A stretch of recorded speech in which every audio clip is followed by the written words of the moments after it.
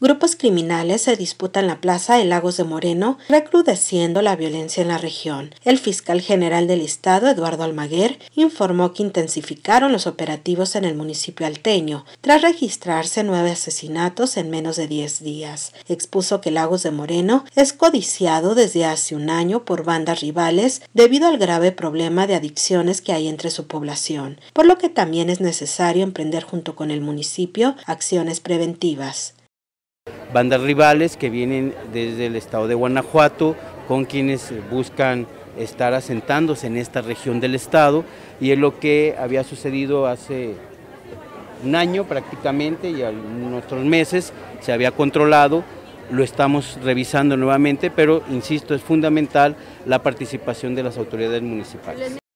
La noche del viernes un grupo de personas fue atacado en la colonia Esmeralda de Lagos de Moreno. En el momento de la agresión cuatro personas fallecieron y dos más fueron heridas. Horas después se confirmó otro deceso.